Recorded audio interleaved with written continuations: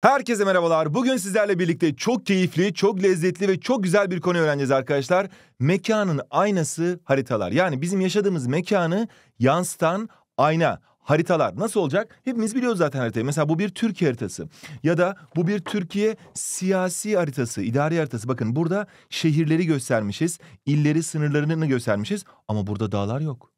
Burada nehirler yok. Burada göremiyoruz ama buraya baktığımızda ha şu kahverengiyle yükseltisi belli edilen yerlerin dağlar olduğunu anlayacağız. Biz buna fiziki harita diyeceğiz. Hatta genellikle siyasi haritaların arkasına böyle fiziki harita koyarlar. Burada ölçekle yapılacak, belli bir düzleme aktarılacak ve kuş bakışı olacak. Yani yukarıdan kuş baktığı gibi olacak. Böyle yandan bakmıyoruz. Dikkat etseniz gökyüzünden bakıyoruz. Şimdi sanki bir drone ile bakıyormuş gibi. Şimdi gelin bu konuyu güzel bir şekilde öğrenelim. Milletin Bakanlığı kazanımlarda, yeni kazanımlarda biliyorsunuz 9. sınıfta kazanımlar baştan aşağı değişti. Dedi ki harita uygulamaları yapabilme. Yani haritaya ait bileşenlerden yararlanarak haritaları okur. Biz birazdan bu haritayı birlikte okuyacağız. Diyeceğiz ki burası ülke sınırları. Bunlar şehir. Burası lejant diyeceğiz. Veyahut da bu haritanın ölçeğini bileceğiz. Yani diyelim ki burada İstanbul'la Ankara arası 4,5 santim gözüküyor. Gerçekte İstanbul Ankara arası 4,5 santim olabilir mi? Olamaz. Yani 4,5 santim olsa hop çıkıyor ben şimdi bir iki dakikada Ankara'ya giderdim. Böyle bir şey olamaz.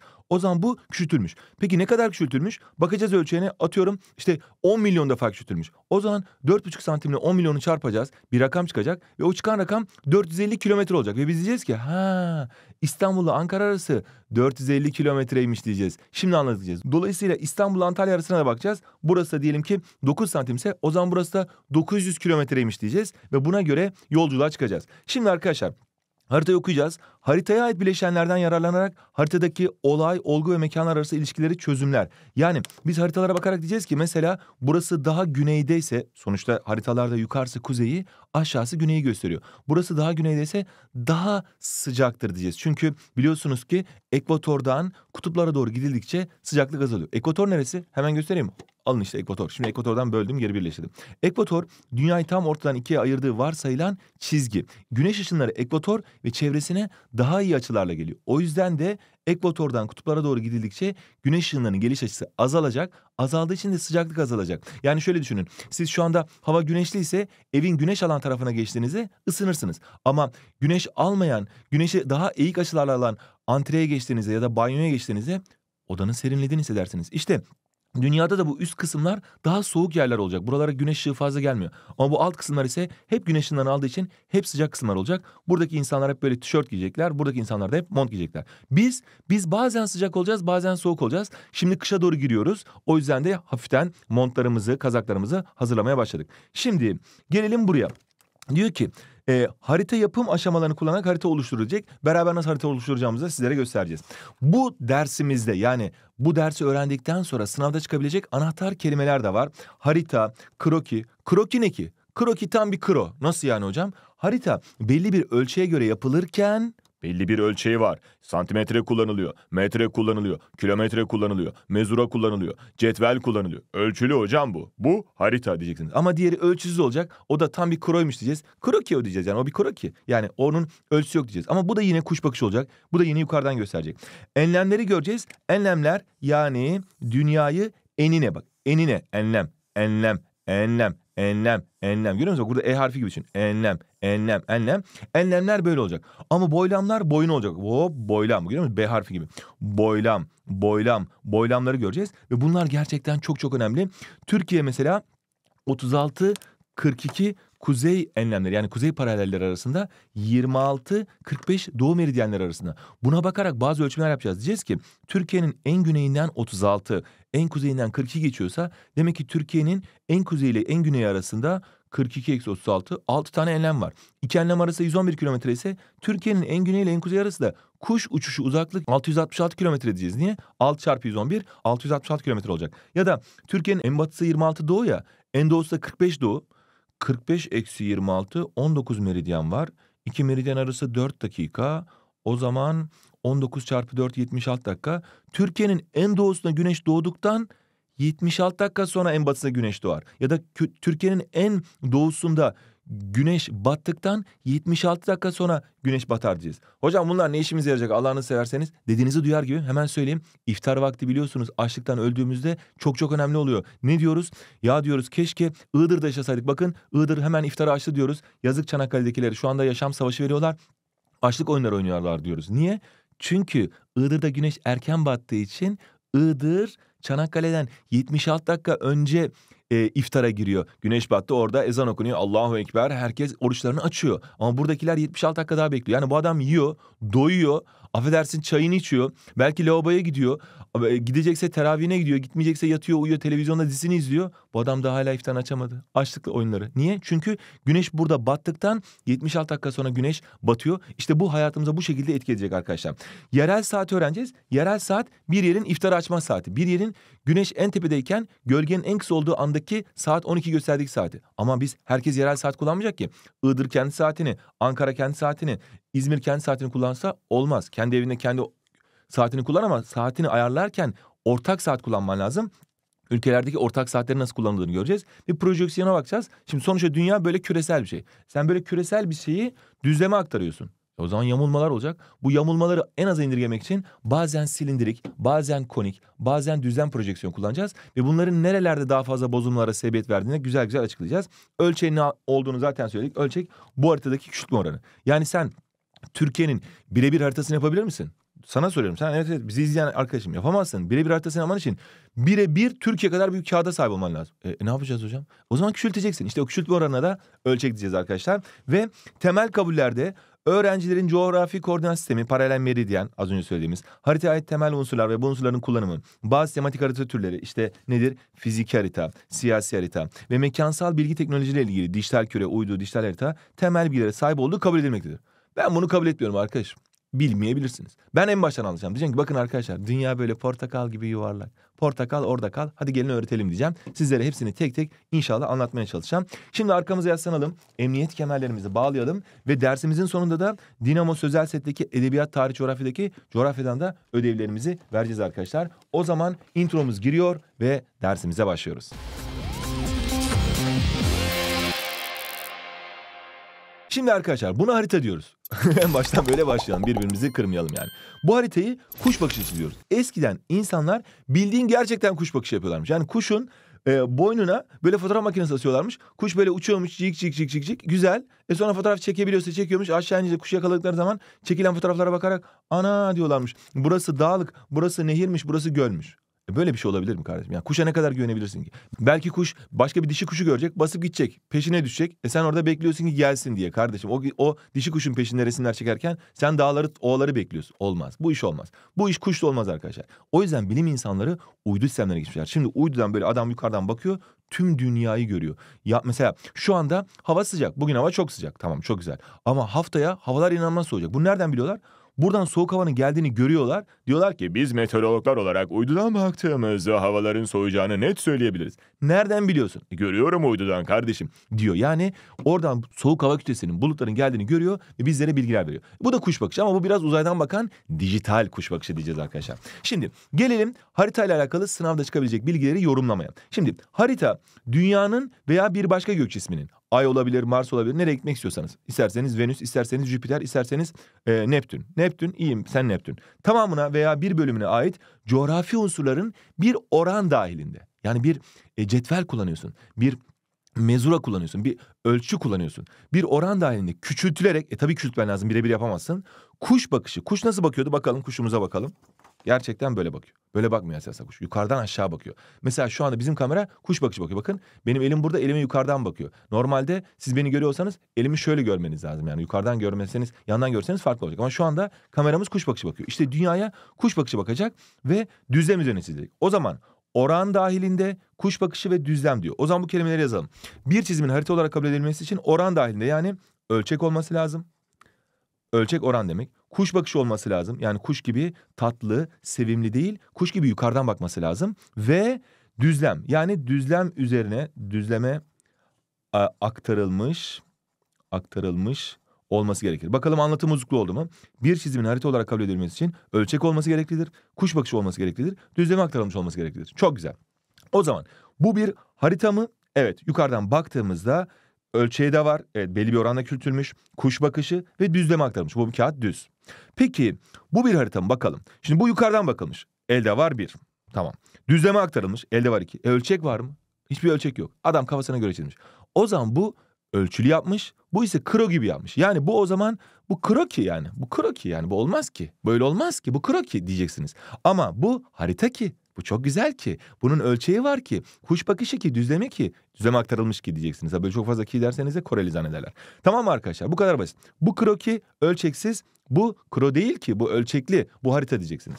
Geldik haritalar nasıl okunur? Bismillahirrahmanirrahim deyip harflerle okuyorsun diyeceksin değil mi? Hayır öyle değil. Haritaları okurken bazı şeyleri görmemiz lazım. Şimdi Mesela burada Güney Amerika ülkeleri nüfus haritası var. Güney Amerika'yı nerede olduğunu hemen şöyle dünya genel bir çizelim. Bak şu Kuzey Amerika, şu Güney Amerika, şöyle bir Afrika çizelim. Şöyle bir Avrupa, hoba falan filan. Şöyle güzel ülkemiz. Arap Yarımadası, Hindistan, Hindistan. Şöyle Avustralya çizelim. Tamam mı? Şöyle bir Madagaskar. Antarktika alır mıyız? Alırız. Şuraya bir Grönland alalım. Tamam. Şöyle de bir Dingiliz İngilizleri koyalım. Şöyle aşağı indirelim. Ha. Şimdi burası Asya arkadaşlar. Burası Avustralya. Burası Afrika. Burası Avrupa. Burası Amerika. Burası da Güney Amerika. Burası da Antarktika. Aa hepsi A ile başlıyormuş diyorsunuz değil mi? Ben de şaşırdım. Neyse yapacak bir şey yok. E burası Atlas Okyanusu, burası Büyük Okyanus. Neyse şimdi A dedik ve Güney Amerika'dayız. Hop geldik Güney Amerika'ya. Güney Amerika'ya baktığımızda birincisi Burada bir başlık var. Güney Amerika ülkeleri nüfus haritası. Burada nüfus dediğine göre bunlar kırmızı yerler domatesleri, sarı yerler muzları, turuncu yerler portakalları göstermiyor. Kırmızı yerler nüfusu 216 ve üzeri olan yerleri, turuncu yerler nüfusu 28-55 yani milyon üzerinde anlatıyor demek istiyor. Demek ki şu açık sarı olan yerlerin nüfusu seyrekmiş. Bak buralarda nüfus seyrekmiş. Buralarda nüfus yoğunmuş mesela. Anlaştık mı arkadaşlar? O zaman burada haritanın amacı bize nüfusu göstermek. Mesela bu haritanın amacı güzel ülkemizin dağlarını, ovalarını, işte ne bileyim denizlerini, kıyılarını, göllerini göstermek. Bu ülke e, pardon bu haritanın amacı güzel ülkemizin şehir sınırlarını göstermek. Kardeşim Yozgat senin sınırların bu. Kırıkkale senin sınırların bu. Ankara senin sınırların bu. İstanbul senin sınırların bu diye sınırlarımızı görüyoruz. Baksana Konya'nın sınırları ne kadar büyük. Konya çok büyük bir il. İstanbul mintoş ama o da çok kalabalık. Kalabalık olduğunu buradan göremiyorsun. Buradan bakınca Konya çok havalı. Ama nüfus haritası olsa İstanbul inanılmaz kırmızı olur. Konya o kadar da kırmızı olmaz. Şimdi o zaman buradaki amacın nüfus olduğunu öğrendik. Başlığımızda bu tamam. Yunoku haritalarda her zaman yukarısı kuzey gösterir. Yani şöyle bir şey çizdiğimizde kuzey, güney, doğu ve batı diyebiliriz. Bunu İngilizce olarak e, İngilizce haritalarda North hepiniz artık Anadolu Lisesi Fen Lisesi bir İngilizce biliyorsunuz. North, South, e, East, Wild Wild West derler vahşi vahşi batı. O zaman bu West bu da Doğu East diye aklınıza kalsın. İngilizce olarak da coğrafya öğretiyoruz. Ondan sonra demeyin ki hocam sadece Türkçe mi öğretiyorsunuz? Neyse Ekvator'un İngilizcesi Ekvator. O yüzden rahatım. Ekvator neydi? Hocam dünyayı aldım ortasına daldım. İşte bu daldığım sırada tam ortadan ayırdığım yere ekvator diyoruz diyoruz. Ama bu şekilde coğrafya sınavında yazarsanız hoca da size dalar. Der ki ne diyorsun evladım böyle bir şey yok. Almak da almak yok. Dikkatli anlatacaksın. Şimdi diyeceğiz ki ekvator tam dünyanın ortasından geçtiği düşünülen çizgi bak. Ekvator burada tamam. Brezilya'nın demek ki daha doğrusu Güney Amerika kıtasının hem ekvatorun güneyinde hem de ekvatorun kuzeyinde topraklar var. Yani şöyle ekvatoru daha kırmızı gösterirsek şurası arkadaşlar şu taraf şöyle aşağıya gösteriyorum. Şu taraf güney yarımküre yani dünyanın güneyi. Yukarısı ise kuzey yarımküre. O zaman hemen size zor bir soru soruyorum. İnanılmaz zor bir soru. Türkiye hangi yarımküredir? E hocam yani bizi ezmeyin lütfen. Türkiye kuzey yarımküredir. Çünkü ekvatorun kuzeyinde, dünyanın şu kısmında. Türkiye burada. Yani zaten dünyadaki birçok ülkede bu tarafta. Niye biliyor musunuz? Karaların çoğunluğu, orta kuşak karaların çoğunluğu kuzey yarımkürede toplanmış. O yüzden Avrupa kuzey yarımkürede, Asya kuzey yarımkürede. Amerika Birleşik Devletleri'nin olduğu Kuzey Amerika ve Kanada kuzey yarımkürede arkadaşlar. Meksika kartellerini biliyorsunuz. Onlar da hep kuzey yarımkürede. Güney yarımküreye baktığımızda bir Brezilya var, bir Arjantin var. Yani hani Messi'yi saymazsak salla hepsini. E bu tarafta yine elmasları olan Güney Afrika Cumhuriyeti var. Madagaskar belki İngilizce öğrenmeye gidilir. Avustralya tamam kanguru zıpla nereye kadar yani. O yüzden bu taraf daha kalabalık burası daha yoğun. Tamam şimdi geldik buraya. Haritayı okumaya devam ediyoruz. Dedik ki burası güney burası kuzey dedik. Şuradan itibaren kuzey oluyor. Tamam yarım küre yani. Kuzey YK yarım küre. Güney YK yarım küre. Tamam. Ölçeğine baktığımızda burada 1 santimetreyi 0,500 kilometre olarak göstermiş. Yani buradaki 1 santimetre 500 kilometre. İnanabiliyor musunuz? Dolayısıyla bu inanılmaz küçültülmüş bir harita esasında. Yani 500 kilometre demek bayağı ciddi bir şey. Hatta bunu bunun alanı bulmanız lazım. Alanı bulurken 500'ün karesiyle çarpacaksınız. Uf inanılmaz büyük bir alan. Esasında buraya böyle mintoş koymuşlar. Hay yine yarım kire sevgiyle. Ya dünyanın en büyük yerlerinden bir tanesi bu esasında. Devam ediyoruz arkadaşlar. Demiş ki mesela coğrafi koordinatlar. Şimdi burada sıfır ekvator dedik ya. Ekvatordan kutuplara doğru gidildikçe 90 tane kuzeyde, 90 tane güneyde paralel yani enlemler var. Şimdi bunlara göre adamlar yerini belirliyor. Mesela hani sen sırtın kaşındığı zaman ne yapıyorsun? Şöyle bir adam çizelim bak şimdi. Bu adam burada. Diyor ki sırtımı kaşır mısın diyor. Tamam arkadaşın ya da annesi. Annesi şurayı kaşımaya başlıyor. Diyor ki oraya değil biraz aşağı diyor. Buraya hayır, biraz sola diyor. Ha buraya buraya değil biraz yani nereye kardeşim bak bir yön tayin ediyor. Halbuki dese ki benim sırtımda 26-45'i kaşı dese annesi tak orayı kaşıyacak. İşte dünyayı da kaşırken daha doğrusu belli yerleri gösterirken sen böyle diyorsun ki ya biraz aşağı soğuk soğuk sıcak yaklaştın yaklaştın. Böyle olmaz kardeşim. Belli bir rakam vermen, belli ölçü, ölçü vermen lazım. O yüzden de şöyle yapmışlar arkadaşlar. Dünyayı bir karpuzcunun biri demiş ki ben bunu dilimlerim arkadaş demiş. Almış eline tamam şöyle demiş hop tabii coğrafya bilim insanları yapmış bunu. Şöyle ekvatordan bir tane almış. Sıfır ekvator tamam mı? Şöyle 90 tane yukarı doğru gitmiş. Diyelim ki 20, 40, 60, işte 80. Şurası 90 tane kuzey demiş. Şuraya da şöyle yapıyorum. 20, 40, 60, 80, 90 tane buraya koymuşum. Güzel. Şimdi bunlara enlem demiş. Hatırlarsanız az önce gösterdim şöyle enlem, enlem demiş. Hatırlıyor musunuz? Bu enlemler yani paralellerin arasına her birinin arasına 111 kilometre demiş. Burası önemli. Ve aynı zamanda bir de boylamlar yapmış. Boylamları da boyuna yapmış böyle. Greenwich başlangıç meridyeni. Bir ara eskiden İstanbul'muş. Biz çok güçlüyken İstanbul'muş. Sonra başlangıç meridyeni İngiltere yapmışlar. İngiltere ne kadar güçlü oradan anlayın. Neyse geçtiği varsayılan çizgi bu arada. Demişler ki burada başlangıç meridyeni ya sıfır. Buraya 180 tane doğusuna, 180 tane batısına toplam 180-180 birleştiği zaman 360 tane de meridyen dairesi yapalım demişler. Ve bunları da kutup noktalarında birleştirmişler. Bunu neden birleştirdiğini anlatacağım size.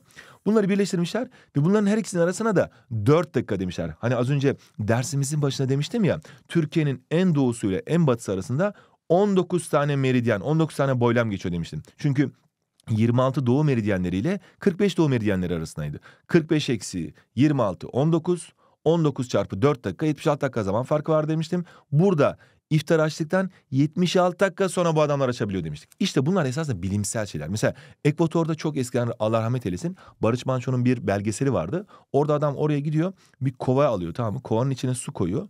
Suyun içine bir çöp atıyor.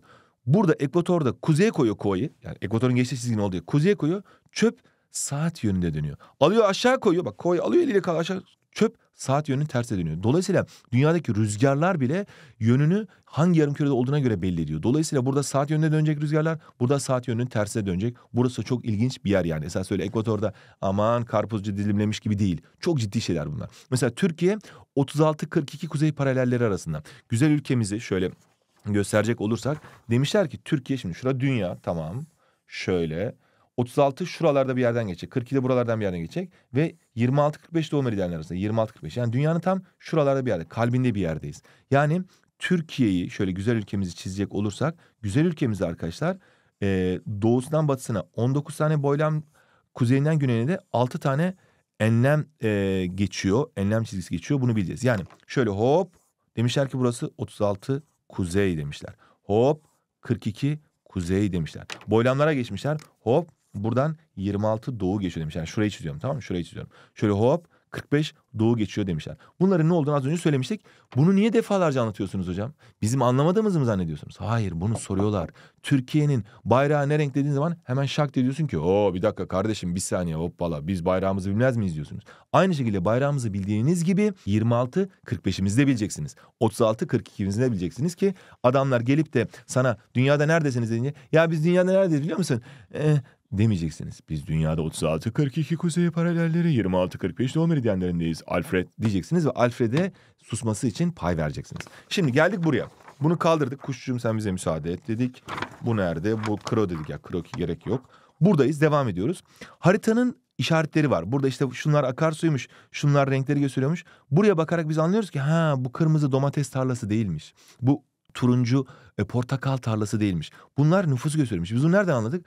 Burada canti bir adam var. Artist bir adam var. O bize yardımcı oluyor. Diyor ki merhaba ben Lejant. Ben Lejant'ım. Havalıyım ve size haritayla alakalı bilgilerde destek olurum. Ben diğer arkadaş gibi kroki değilim ki ben Lejant'ım diyor. O zaman böyle canti birini gördüğünüz zaman bu bize haritayla alakalı bilgiler veren kısım diyeceksiniz. Bak bu Lejant. Bak bu lejant. Böyle Fransız okumanıza gerek yok. Lejant deseniz de olur arkadaşlar. Lejant, çelik jant. Neyse burayı da geçiyorum. Ve şimdi ölçeği de olduğunu biliyorduk. Ölçekte belli bir küçültme oranı dedik. Yön okunu söyledik. Başlığımızı söyledik. Coğrafi koordinatlarda burada mesela e, mesela Brezilya şurada sıfır kuzey ekvatordan biraz yukarı gelelim. Şuralardan mesela 5 kuzey ile işte ne bileyim 32 güneyden geçiyormuş. Ha burada şu çok önemli arkadaşlar. Ben biraz hızlı anlatıyorum ama sizler zeki olduğunuz için.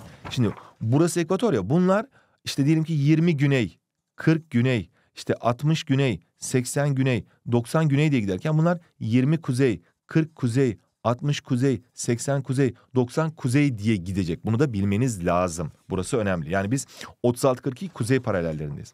Şimdi burayı bitirdik geldik buraya. Kullanım amacına göre haritalar. İstediğin amaca göre kullanırsın kardeşim. İster atlas yaparsın. İster duvar haritası yaparsın. İster fiziki harita yaparsın, dağları, nehirleri gösterirsin. İster siyasi harita yaparsın, böyle şehir sınırlarını gösterirsin. Yani kimse karışamaz. Topografi haritalarında yer şekillerini gösterirsin. Tematik, bunlar genel haritalar. Tematik haritalar ise belli bir konu için yapılmış. Mesela jeoloji, jeomorfoloji, iklimleri gösteriyorsun. Diyorsun ki mesela iklim haritası yapıyorsun şurada. Bakın size bir iklim haritası yapayım? Çok basit. Yani basit değil esas zor şöyle bir dünya çiziyorum tamam mı? Dünyada şuralar mesela şu 10 kuzey 10 güney arası ekvatoral iklim olacak. Burası hep sıcak olacak mesela. Biraz yukarı çıkacaksın mesela. Şurası savan iklim olacak. 10-20 kuzey ve 10-20 güney mesela. Anlaştık mı? Bu şekilde bunu ben ölçüye göre yapmadığım için şu anda bir kroyum. Yani kroki gibi yapıyorum. Olmaz yani. Hocam siz öğretmensiniz. Niye böyle ölçeksiz yapıyorsunuz? Nasıl yapayım şimdi ölçüp onunla mı uğraşayım? Sonra biraz daha yukarı gideceğiz mesela çöller olacak. Biraz daha yukarı gideceğiz Akdeniz olacak. Biraz daha yukarıda stepler, bozkırlar olacak. Şuralarda musonlar olacak. Yukarılarda kutuplar olacak. Yani böyle belli temalarla yapabiliyorsun.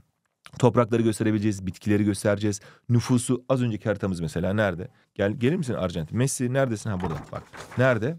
Bak bu mesela bir nüfus haritası. O zaman belli bir temaya göre yapılmış. E, ulaşım haritaları, turizm haritaları, ekonomi haritaları bunlar da tematik olacak.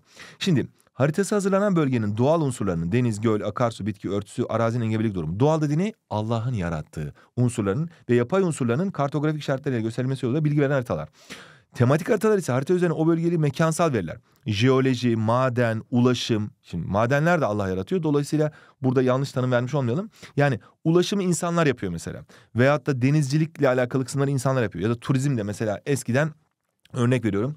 E, Türkiye'den örnek vereyim mesela. Antalya'nın kıyıları böyle e, şeylere verilirmiş. Nedir onun adı? Tarım yapamaz diye kız çocuklarına verilirmiş. E, erkek çocuklarına ise arkadaki güzel araziler verilmiş. E sonra turizm gelince ne olmuş? kız çocukları zengin olmuş. Oralara beş yıldız otelleri dikmişler. Bizim erkekler de çiftçi olmaya devam etmişler yani. Dolayısıyla turizm sonradan canlanabilen bir şey yani. Veyahut da Kapadokya'da mesela benim kuzenim vardı. Biz mağarada yaşıyoruz abi fakiriz diyordu bir çocukken. Sonra o mağaralara turizm yapılma imkanı verildi. Şimdi arıyorum telefonumu açmıyor engelliyor. Niye? Çünkü o mağarayı otele çevirmiş. Cave Otel yapmış. Cave'in otel kalabilirsiniz 200 euro. Yani turizm sonradan olan bir şey, insanlarla olan bir şey. Yani sonuçta Allah'ın yarattığı Kapadokya, Allah'ın yarattığı Antalya ama turizmi insanlar kendisi şekil veriyor. Neyse, burada anlatılmak istenen tematik haritalarda bu tarz şeyler var. Genel haritalarda ise deniz, göl, akarsu, bitki, arazinin engebelik durumu var diyoruz. Şimdi geldik coğrafi koordinatlara. E, gelmedik ki hocam zaten buraya gelmiştik. Evet biz hızlı gidiyoruz. Siz zekisiniz ben ne yapayım? Siz zeki olunca ben de böyle hızlı anlatıyorum. Coğrafi koordinat sistemi ekvator ve başlangıç meridyeni esas alınarak enlem ve boylamların kullanılması oluşturan sistemdir. Yani dünya sırtı kaşındığı zaman size derse kardeşim kuzey yarım küremi kaşı burayı kaşıyacaksınız. Güney yarım küremi kaşı burayı kaşıyacaksınız. Kuzey yarım kürede 36-42 kaşı buraları kaşıyacaksınız. 26-45 kaşı o zaman Türkiye'yi kaşıyorsunuz. Niye? Çünkü Türkiye 36-42-26-45 arasında. Tamam burayı kaşıyorsun mesela anlaştık mı? Biraz aşağı in dedi mesela diyelim ki işte 20 kuzey ile e, 25 kuzey kaşı. O zaman buraları kaşıyacaksınız. İşte ne bileyim e, 30 50 doğuyu kaşa. O zaman Suudi Arabistan taraflarına geliyor mesela gibi. Yani kaşımak için değil de yer belli etmek için biz coğrafik koordinatlar kullanıyoruz.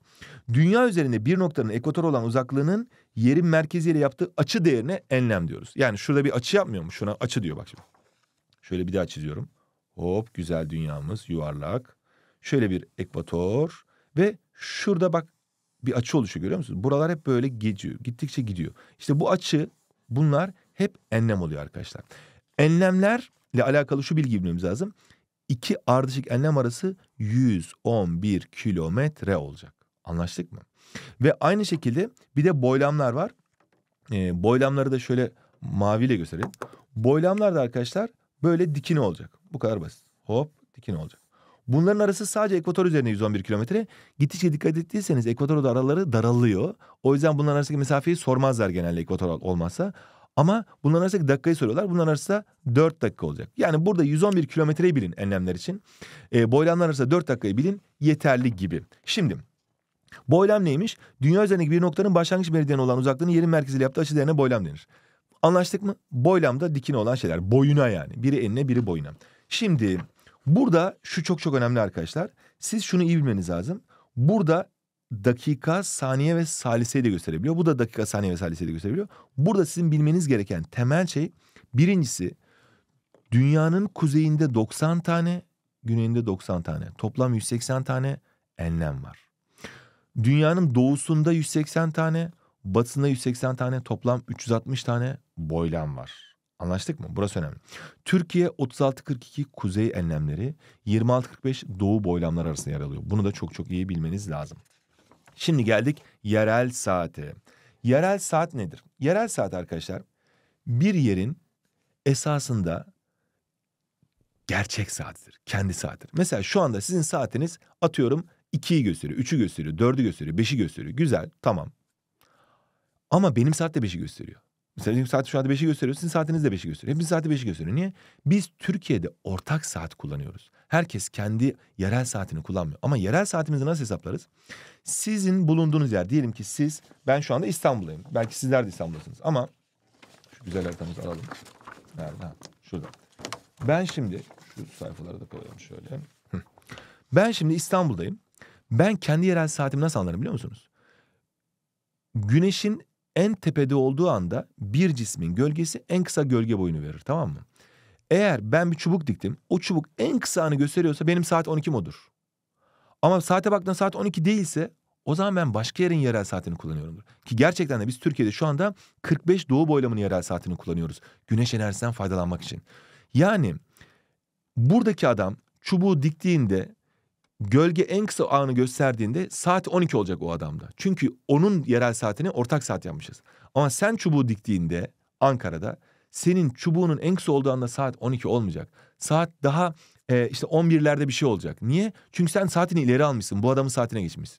İleri almak nedir hocam? Şimdi güneş doğudan doğar, batıdan batar. Doğuda daha erken doğar ve daha erken batar. Batıda daha geç doğar ve daha geç batar. Bunu bilmek için sadece Ramazan ayında akşam Nihat Hatipoğlu'nu izlemeniz yeterli. Çünkü buraya baktığınız zaman Ağrı'da, Van'da, Hakkari'deki kardeşlerimizin iftarı bizden daha erken açtıklarını ama Çanakkale'deki, İzmir'deki kardeşlerimizin ise iftarı Ankara ve İstanbul'dakilerden daha geç açtığını görürüz. Bunlara daha fazla mı sevap yazılıyor? Hayır öyle bir şey yok. Sadece onlar daha geç, daha batıda oldukları için daha geç açıyorlar. Onlar da sahuru daha geç kapatıyor yani bir kere. Yani güneş burada daha erken doğup daha erken batar. Yerel saat ileridir. Burada güneş daha geç doğup daha geç batar. Yerel saat geridir. Neye göre? Buna göre geridir. Yani bu adam buna göre geridir. Ama bu adam İngiltere'ye göre ileridir. Çünkü İngiltere daha da batıda. İngiltere'dekiler daha da kötü yani. İngiltere'dekiler daha da geç açıyor gibi. Şimdi dünya üzerine daha batı. Şimdi buradaki tanıma bakalım. Güneşin ufuk düzlemindeki konumuna göre belirlenen zaman kavramıdır. Güneşin ufuk düzlemindeki konumuna göre yapmış olduğumuz namaz vakitleri, Allah kabul etsin, iftar ve sahur vakitleri yerel saatlere göre belirlenir. Şimdi yerel saatin belirlenmesi güneşin gökyüzündeki hareketiyle gölge yöne ayarlanır demişiz. Güneş doğudan doğuyor, güzel, tepede, saat 12 tam tepede olduğu an. Sonra buradan da batıyor. Buraya kadar her şey benim. Doğudan doğdu ve batıdan battım. Yerel saatin belirlenmesi güneşin gökyüzündeki hareketiyle gölge yönünden yararlanır. Yani burada gölgenin en kısa olduğu anın yerel saatin 12 olduğunu bileceğiz. Şimdi dünya üzerinde hani boylamlar var demiştik ya şöyle dedik ya şurası başlangıç meridyeni dedik sıfır. Bunlar doğudakiler doğu boylamları, doğu meridyenleri dedik. Batıdakiler de batı boylamları dedik. Şimdi burası sıfır ya. Şimdi bu sıfırdan şimdi şunu şuraya aktardım düşünün. 10 doğu, bak bu doğuda. 20 doğu, 30 doğu, 40 doğu. Bunların yerel saati daha ileride. Yani güneş burada önce doğar, Sonra burada doğar. Sonra burada doğar. Sonra burada doğar. Sonra sonra sonra. sonra. Dolayısıyla bunlar batıdadır. Bunlarda daha geç doğar ve daha geç batar. Yani şu anda biz 26-45'lerdeyiz ya. Biz şuralarda bir yerdeyiz ya diyelim ki atıyorum. Bizde güneş doğdu. Şu anda biz mesela gündüz yaşıyorsak daha buralarda biraz daha ilerler daha güneş doğmadı. Hatta biz gündüz yaşarken Amerika'nın gece yaşamasının sebebi bu. Yani sen şu anda güneşi görüyorsun. Dünya dönecek de buraya gelecek de güneş de buraya o zaman güneşi görecek. Demek ki burada daha doğmamış. Yani burada yerel saat geri, burada yerel saat ileri. Ha bizi güneş doğdu oh ne güzel öğlen saati çok iyiyiz. Yerel saatimiz ileri diye seviniyoruz ama o Japonya'da batmak üzere. Japonya'da çoktan doğdu. Anlaştık mı? Güneş doğudan doğar arkadaşlar. Burada bir mecazla yapıyorum. Yani ilimler, fenler, güzellikler doğudan doğar. Onu da bilin yani hakikaten de peygamberimiz doğudan gelmiş. Biz Türkler Orta Asya'da doğudan gelmişiz. Çin öyle değil mi? Böyle medeniyetin eskiden beşiği, yazıyı, işte ne bileyim kağıdı, matbaayı bulan Uygurlar veyahut da buna hem doğudan gelir. Işık doğudan yükselir diye bir konu da vardı belki hatırlarsınız sosyal bilgilerde. Oradan da bir mecaz yapalım. Neyse. Doğuda yerel saat daha ileri. Batıda yerel saat daha geri. Bu kadar basit. Bu kadar basit. Şimdi başlangıç meridyeni 0, 15 doğu, 15 batı. Burada yerel saat daha ileri. Şimdi bunun isterseniz gelin sorularla gösterelim ki daha iyi anlamaya çalışın. Tamam mı arkadaşlar? Şimdi demiş ki 52 doğu boylamında yerel saat 10.20 iken aynı anda 32 doğu boylamında yerel saat kaçtır? Ne bileyim ben. Hayır biliyorsunuz artık. Nasıl yapacağız? Öncelikle birincisi işsiz olacağız. Yani üşenmeden bazı şeyleri çizeceğiz. Yani diyeceğiz kardeşim şurası sıfır başlangıç meridyeni diyeceğiz.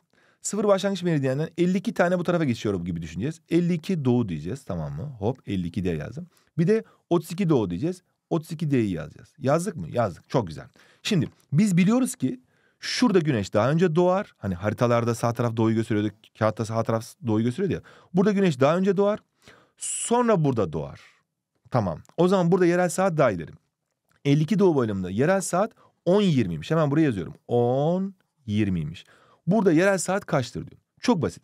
Öncelikle bu ikisi arasındaki farkı bulmamız lazım. Süre farkını bulmamız lazım. Yani 52 doğu ile 32 doğu arasında kaç dakika fark var onu bulmamız lazım. Öncelikle 52'den 32'yi çıkarıyoruz. Niye? Aralarındaki farkı bulacağız öyle değil mi? 52 eksi 32 ne eder? Hesap makinesi var mı? Getirin şaka tabii. 20. Tamam. 52'den 32'yi çıkarınca 20 olduğunu biliyoruz. O zaman arada 20 dakika fark var diyebilir miyiz? Diyebiliriz diyorsunuz değil mi? Hayır diyemeyiz arkadaşlar. Bir dakika. Bu meridyen farkı. 20 meridyen farkı var. Ama adam bizden dakika farkını bulmamızı istiyor. O zaman 52 doğu ile 32 doğu arasındaki dakika farkını bulmamız için şunu yapmamız lazım. İki ardışık meridyen arasında kaç dakika fark vardı? Bunu yazmıştık. Şurada bilmemiz gereken iki şey vardı kardeşim. Bir 111 kilometre bir 4 dakika. 4 dakika fark vardı. O zaman 20 meridyen demek şu demek. 20 çarpı 4 dakika eşittir 80 dakika demek. Yani bu ikisi arasında 80 dakika fark var. Tamam. 80 dakika ne eder? 80 dakika 1 saat 20 dakika eder. Bunu biliyorsunuz zaten. 80'i 60'a bölecek. 1 saat 60 dakika. Tamam. 1 saat 20 dakika zaman farkı var. O zaman burada saat acaba 1 saat 20 dakika ileride mi? Yani saat burada atıyorum 11.40 mı? Yoksa saat 1 saat 20 dakika geride 9 mu? Buna nasıl karar vereceğiz? Kardeşim şimdi bu 52 doğuysa daha doğuda. Daha 52 doğu yani. Bu 32 doğu bu 52 doğu. O zaman bu daha doğudaysa burada yerel saat daha ileri diyeceksin. Burada yerel saat daha geri diyeceksin. O zaman bu tarafta yerel saat daha geri olduğuna göre 10.20'den 80 dakikayı yani 1 saat 20 dakikayı çıkardığımızda bunun 9.20 olduğunu bulacağız arkadaşlar. Niye? Pardon ne 9.20? 9 olduğunu bulacağız. Bak böyle kafadan yapayım dedim hata yaptım. Normalde direkt kendim çıkarsaydım yani 80 dakika çıkarsaydım çok daha güzel olurdu. Ne olurdu? Burada 1 e, saat 20 e, dakikaydı. Buradan sıfır kalacaktı. 9 da olacaktı. Buradan bulacaktım. Ama ben kafadan yapayım dedim. Bazen hata yapabiliriz. Ama kesin olan bir şey varsa 10-20'den 1 saat geri gelirsen 9-20. 20 dakika daha geri gelirsen 9 olacak. Tamam mı? Burası 10-20'ymiş.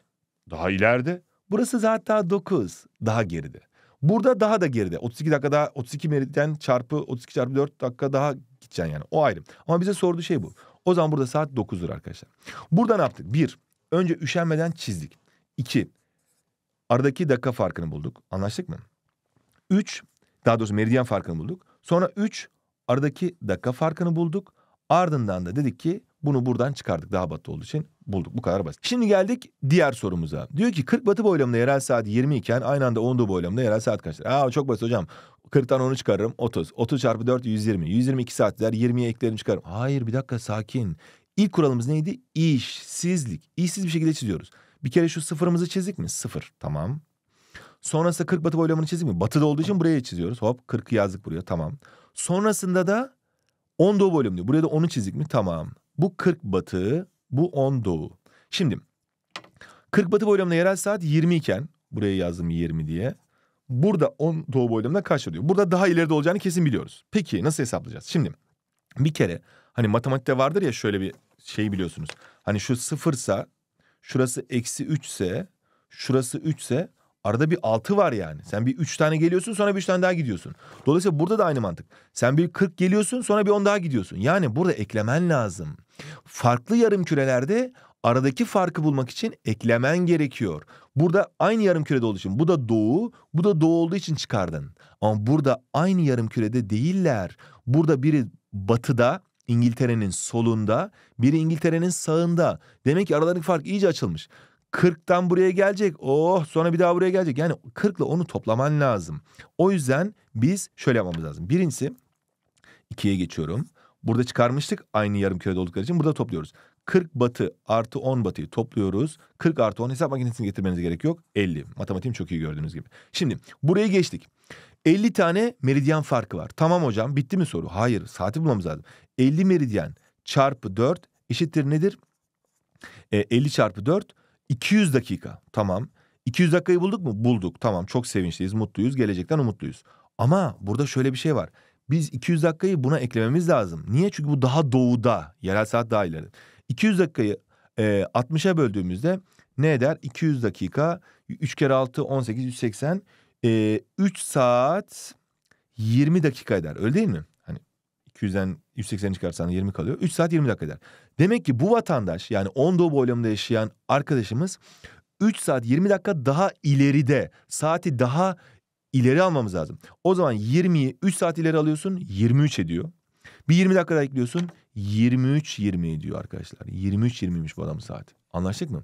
Gerçekten de burada saat 23 20 iken burada saat daha geri olduğu için saat 20 oluyor arkadaşlar. Bu kadar basit diyoruz. Şimdi Gelelim uluslararası saat dilimlerine. Şimdi dünya üzerinde belli saat dilimleri var. Hani saatleri atıyorum Avrupa'ya gittiğinizde geri alıyorsunuz. Japonya'ya gittiğinizde ileri alıyorsunuz. Neden? Çünkü saat dilimleri değişiyor. Burada arkadaşlar veyahut da mesela bir yabancı televizyon kanalını açın oradaki saat başka gösteriyor. Niye başka gösteriyor? Çünkü tüm dünya ortak saati kullanamaz. Tüm dünya ortak saati kullansa e bu adam gece yaşıyor kardeşim. E bu adamla daha güneş birazdan doğacak kardeşim. Yani böyle bir değişik durumlar var. O yüzden herkes kendi e, ortak saatini kullanıyor ve kendi uluslararası saat dilimini kullanıyor. Peki uluslararası saat dilimlerini nasıl hesaplıyoruz? Şu dünyada oynayıp duruyor oynama kardeşim. Ha. Şimdi uluslararası saat dilimlerine göre dünya 15'er derecelik aralıklarla 24 saat dilimine ayrılmıştır. Peki neden 15'er derece hiç düşündük mü? Ben bunu yıllarca düşündüm ama sonra coğrafya kitabını açınca düşünmeme gerek kalmadığını anladım. 15 tane meridyen ayrıldıysa 15 çarpı 4 60 dakika yani 1 saat olduğu için Peki niye 24 saat dilimine ayrılmış? Çünkü dünyanın dönüşü 24 saat arkadaşlar. Allah mükemmel yaratmış. Böyle çeviriyorsun 24 saatte dünya dönüyor bir kere. Ben şimdi çok döndürdüm ama bir kere de dönüyor. O zaman dünyaya bir yere mesela Türkiye'de şu noktaya güneş doğduktan 24 saat sonra doğuyor. O zaman demişler ki 24 saat çarpı 60 dakikayı buluruz. Onları da dörde böldüğümüzde meridyen sayısını buluyoruz demişler. Yani gerçekten de 360 meridyeni dörtte çarptığın zaman da 24 saat çıkıyor. Yani tam hesaplanmış her şey. Mükemmel hesaplanmış. O zaman çok güzel bölmüşler. Diyoruz ki 15'er derecelik aralıklarla yani bir saatlik aralıklarla 24 saat dilimine ayrılmış. Çünkü dünyanın dönüşü 24 saat. Doğu yarımküredeki saat dilimleri artı 1 artı 2 artı 3 şeklinde numaralandırılırken Batı yarımküredeki saat dilimleri eksi 1 eksi 2 3 diye numaralandırılıyor. Bakın şuraya bakalım. Şurası sıfır başlangıç meridyeni. Hop 15 ekliyorsun birinci saat dilimi. Hop 15 dakika ekliyorsun 30 ikinci saat dilimi. Hop 15 dakika ekliyorsun 45 üçüncü saat dilimi diye gidiyor. Türkiye ikinci ve üçüncü saat dilimleri arasında ama biz üçüncü saat dilimini tercih ediyoruz. Saatlerimizi ileri aldık. Niye? Güneş enerjisinden daha fazla faydalanmak için. Yani burada güneş daha erken doğuyor ya. Yani daha erken doğsun daha çok erken. Hatta siz sabahleyin okula gidiyorsunuz gece oluyordu ya. İşte bu ondan dolayı ileri aldılar artık şeyi ortak saatimizi. Şimdi 1 artı, 2 artı, 3 artı diye gidiyor. Neden? Çünkü doğuda yerel saat daha ileri arkadaşlar. Şimdi Ulusal saat ise bir ülke içinde yerel saat farkları resmi işlemler ile ulaşım, bankacılık, iletişim gibi hizmetlerin yürütülmesi karışıklığa neden olabilir. O yüzden de biz ulusal saat kullanıyoruz. Yani şimdi İzmit'tekiler İzmit'in saatini, Iğdır'dakiler Iğdır'ın saatini kullansa olmaz. Haberleri açtığın zaman kafa karışır. Evet, haberleri izlemeye başlıyoruz. Bugünkü haberlerimiz Iğdır için. Birazdan yarım saat sonra da İzmit için. Öyle olmaz. Saat 8 açtığında herkesin televizyonu saat 8 oluyor. Ve biz Iğdır'ın ortak saatini kullanıyoruz arkadaşlar. Daha doğrusu Iğdır'ın yerel saatini kullanıyoruz. Her ülke kendine ait şeyleri var. Tabii bizim ülkemizde bir tane kullanabiliyoruz ama bazı ülkeler dünyada çok büyük. Mesela Türkiye mintoş güzel bir ülkemiz cennet ülke bir tane ortak saat kullanıyor ama Rusya deve gibi görüyor musunuz? O yüzden burada birden fazla ortak saat kullanılabiliyor. Veyahut da Amerika Birleşik Devletleri, Kanada böyle kuzey güney değil de doğu batı doğrultusunda çok fazla yer kaplayan ülkeler e, birden fazla e, ortak saat kullanıyor. Ama Şili mesela böyle incecik o mesela bir tane kullanıyor. Veyahut da ne bileyim işte e, Moritanya bir tane kullanabilir mesela küçük böyle doğu batı doğrultusunda fazla yer kaplamıyor arkadaşlar. Şimdi demiş ki 6. saat diliminin merkez boylamını bulunuz demiş. Burada sorduğu şey şu. Hani az önce bir sayfa göstermiş ya onu göstermek istiyorum. Şimdi 6. saat dilimi diyor ya. Şimdi şu sıfırdı. Sonra bir 15. meridyenden 1. saat dilimi geçiyordu. 30. meridyenden 2. saat dilimi geçiyordu. 45. meridyenden 3. saat dilimi geçiyordu. Böyle gidecek ya. Şimdi biz de aynısını yapacağız. Diyeceğiz ki şöyle düşünün gene işsiz bir şekilde. Diyeceksiniz ki birinci saat dilimi yani şurası sıfırsa 15'ten birinci saat dilimi geçiyor. 1. 30'dan ikinci saat dilimi geçiyor. 2. 45'ten üçüncü saat dilimi geçiyor. Niye? Çünkü her bir 15 meridyende 15 çarpı 4 60 dakika atıyor. Bir saat attı. İkinci saat, üçüncü saat böyle gidiyor. Geliyorum işte 60'ta dördüncü saat dilimi. Geliyorum e, işte 75'te beşinci saat dilimi. Geliyorum 90'da altıncı saat dilimini bulduk. Şunlar da saat dilimleri. Bunlar merkez boylamını bulduk. Tamam. Şimdi biz şuna eminiz ki altıncının yani altıncı saat diliminin merkez boylamı 90'mış. Bu kadar basit. O zaman cevabı yazıyorum böyle. 90. Nereden biliyoruz? Şöyle 90 doğuya baktığınız zaman arkadaşlar burası 6. saat dilimi oluyor. Ha bunun etrafındaki yerlerde ne yazacak biliyor musunuz? Burada hani 15'i 2'ye böldüğümüzde 7,5 eder ya 7,5 7,5 eklemeniz gerekiyor. Buraya ekleyeceksin mesela 97 30 olacak tamam mı? Buraya da adına çıkaracaksın 82 30 olacak. Yani bu 82 30 97 30 arasında ama burada senin bilmen gereken şey burası 6. ulusal saat dilimini kullanıyor. Ulusal saat dilimini kullanıyor diyebiliriz. USD diye kısaltılıyor. Amerikan doları zannetmeyin kafanız kaçmasın. Şimdi geldik buraya. Eksi dördüncü saat diliminin boylam aralıkları nedir? Yani eksi dördüncü saat diliminin boylam aralıkları nedir diyor. Şimdi burada şuna dikkat edeceğiz arkadaşlar. Birincisi az önce bu tarafa doğru gitmiştik ya bunlar artı bir yani. Artı bir, artı iki, artı üç, artı dört, artı beş, artı altı. Şimdi biz eksiye gideceğiz. O zaman bu sefer bu tarafa çizeyim. Şöyle sıfır yapayım. Şöyle eksi bir diyeyim. Şöyle eksi iki diyeyim. Şöyle eksi üç diyeyim. Şöyle eksi dört diyeyim. Tamam mı? Şunlar saat dilimleriydi. Fıt, fıt, fıt diye gidiyor. Tamam. Şimdi burada hatırlarsanız 15, 30, 60 pardon 15, 30, 45, 60, 75'e gitmişim. Yani burada aynı şey yapacağım. Şuraya bir 15 yazayım mı? Yazdım. Pardon buraya yazamam. Buraya yazacağım. Niye? Çünkü ilerlemem lazım. Daha doğrusu gerilemem lazım. 15 yazdım mı? Yazdım. E buraya da yazdım 30. E buraya da yazdım 45. E buraya da yazdım 60. E tamam o zaman 60 ama bunlar doğuydu. 15 doğu, 30 doğu, 45 doğu, 60 doğu, 75 doğu, 90 doğuydu. Anlaştık mı? Burası 90 doğuydu. Şimdi biz eksi 4'te olduğumuz için batıya gideceğiz. Yani 15 batı, 30 batı, 45 batı, 60 batı diye gideceğiz. Tamam güzel batıyı da yaptık. O zaman burası 60 batı e, şeyde ulusal saat diliminin merkez boylamı bu. Ama merkez boylamının sormuyor. Boylam aralıklarını soruyor. Şimdi bu merkez boylamı. Biz etrafındakileri de şöyle bulabiliriz arkadaşlar. Dersin kardeşim burası 60 ise yani 60 batıdaysa ne yapıyorduk? Bir saat dilimi 15 tane meridyendi ya. 15'te 2'ye böldün 7,5'tu ya. 7,5 buradan 7,5 buradan ekleyeceksin. Hop buraya bir tane çiziyorum. Buraya bir tane çiziyorum. 60'tan ne yapmam lazım? Bir tane 7,5 çıkarmam lazım. Bir tane 7,5 çıkardığımda burası şak diye 52 30 olacak. Tamam mı? Batı. Burası da 7,5 ekleyeceğim. 67 30 olacak. 67 dakika 30 saniye. Bu da ne olacak?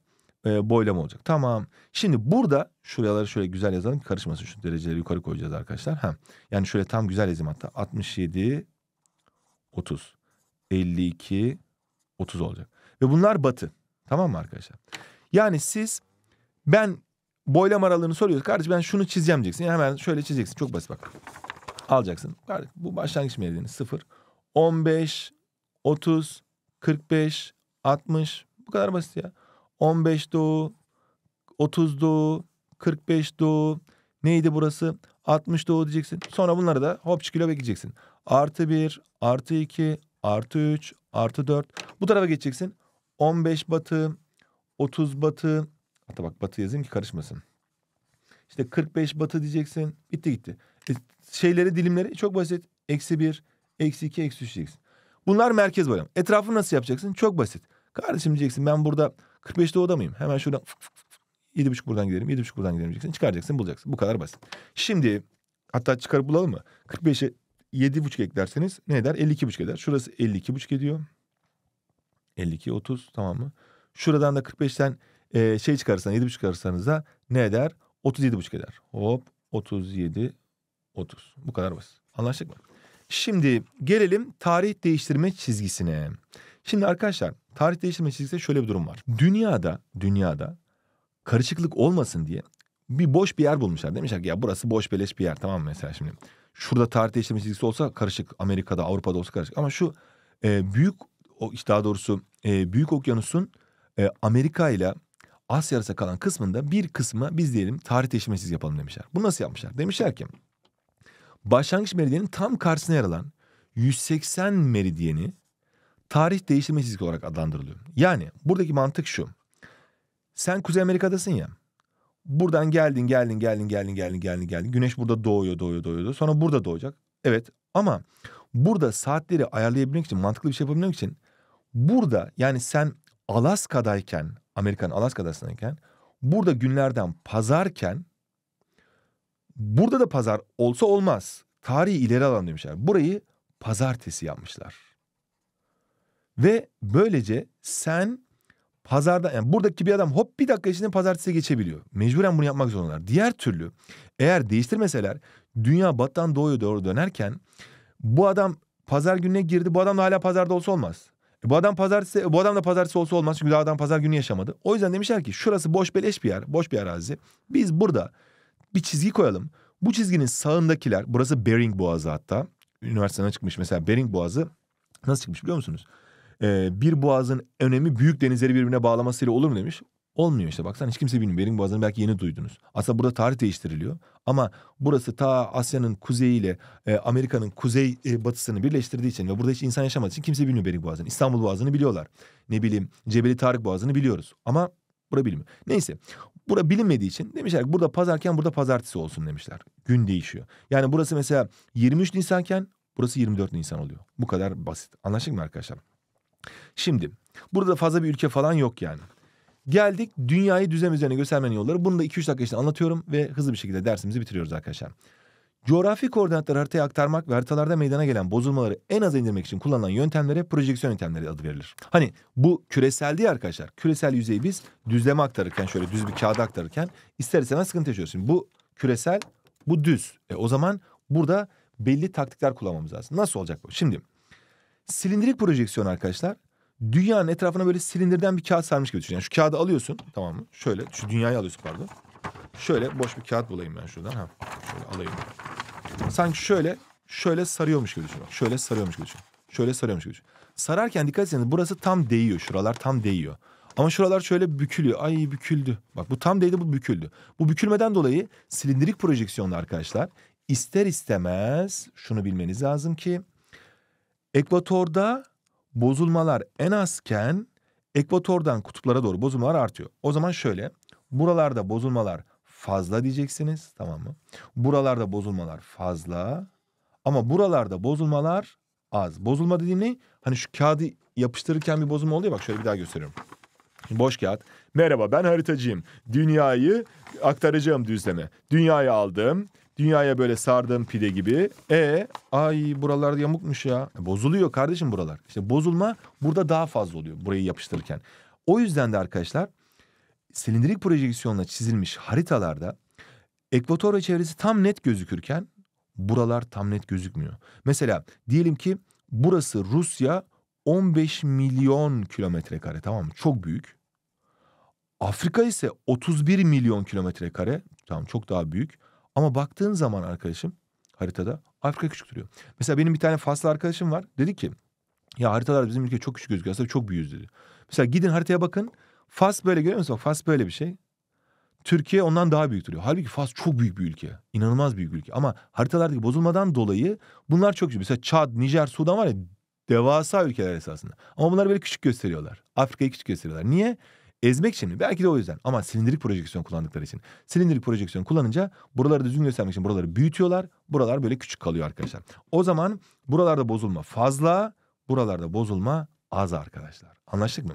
Nerede bozulmaz? Ekvatorda az. Ekvator neresi? İşte Nijerya, Endonezya, işte Amazon ve Kongo havzası. Şurası Kongo havzası arkadaşlar. Şurası Amazon, Brezilya. Buralarda bozulmaz. Devam ediyoruz. Konik projeksiyona geldik. Konik projeksiyonda ise bu sefer dünyanın kafasına sanki delinin kafasına huni geçirirler ya. Huni geçirir gibi düşünün. Şöyle alıyorum şunu bakın şimdi. Şöyle, şöyle hop hop hop hop hop hop. Bu sefer dünyanın kafasına şöyle bir şey geçiriyormuş gibi düşünün. Şöyle çeviriyorum. Hop. Şöyle geçirdim. Al sana geçirdim. Bunu geçirdiğin zaman ister istemez arkadaşlar şöyle bir şey oluyor. Ee, orta kuşakta daha az bozulma oluyor. Yani orta kuşak yazıyorum buraya. Orta kuşakta bozulmalar az. Orta kuşakta bozulmalar az. Kutba doğru kutup tamam mı? Kutup ve şey ekvatora doğru gittikçe ekvatora doğru gittikçe bozulmalar fazla olmuş oluyor. Bozulma fazla olmuş oluyor. Bu ne demek? Şimdi bir kere sen huni, huniyi yani buradan takabilirsin. Buradan takabilirsin. Bir yerden takıp da aynı anda hepsini saramazsın. Dolayısıyla ister istemez orta kuşakta bozulmanın az olduğunu söyleyeceksiniz. Ekvatorda ve kutuplarda bozulmanın fazla olacak. Orta kuşakta nereler için iyi o zaman bu? Türkiye için konik projeksiyon iyi. Veyahut da Japonya için konik projeksiyon iyi. Ya da işte Güney e, Yarımküre'den örnek verelim. Mesela Cape Town'un yer aldığı Güney Afrika Cumhuriyeti için yazıyorum buraya. Güney Afrika Cumhuriyeti için e, bu iyi yani. Buraları bununla gösterebilirsin. Geliyoruz düzen projeksiyona. Düzen projeksiyon arkadaşlar kutup ve çevresi için alıp düzen pat diye böyle şöyle alıyorsun şu dünyaya. Şöyle alıyorsun diye koyuyorsun. Tamam şöyle daha, daha küçük kağıt göstereyim daha net anlayayım. Merhaba ben coğrafyacıyım. Kutupları göstereyim. Al abi o zaman şöyle koy. Pıt diye koy işte. Bozulmaz oldu. Şöyle aldın fıt diye koydun bozulmaz oldu. Böyle yaparsan bozulacak tabii ki. O zaman burada da kutupta hatta şöyle yazalım. Kutup çevresinde bozulma az diyelim. Tamam bozulma az. Ama kutuptan aşağı doğru indikçe aşağı indikçe artık neresi olarak aşağıda ekvator. Ekvatora doğru gittikçe bozulma fazla olacak arkadaşlar. O zaman kutba yakın nereler var hemen yazalım. Nereler için iyi bu? Grönland için çok güzel. Veyahut da işte Finlandiya gibi kuzeye yakın ülkeler için çok güzel. İsveç için çok güzel. Norveç için çok güzel. Bakın İsviçre için kötü. İsviçre orta kuşağa gelecek neredeyse Avrupa'ya gelecek. Bunu da çok net bir şekilde bilmemiz lazım. Yani şurada ekvatordaki ülkeler için çok iyi. Kongo havzası, Amazon havzası, Nijerya, Brezilya, işte Brezilya burada, Endonezya için iyi. Burası Türkiye, Japonya gibi orta kuşak, orta kuşak ülkeler için iyi. Buralarda düzlem projeksiyonla kutuba yakın ülkeler için iyi. Dersimizi bitirdik arkadaşlar. Sizin yapmanız gereken şey artık haritalara baktığınızda bunların fizik harita olduğunu, bunların siyasi olduğunu biliyorsunuz. Belli bir ölçeği var diyorsunuz. Kro değil ki bu diyorsunuz. Kro olsaydı ölçeksiz olur diyorsunuz. Ve Dinamo Soru Bankası'ndan da setinden de ödevlerinizi yapıyorsunuz. Hadi bakalım bir diğer dersimize görüşmek üzere. Kendinize iyi bakın diyorum. Ödülü soruyor da yorumlarınızı bekliyoruz arkadaşlar.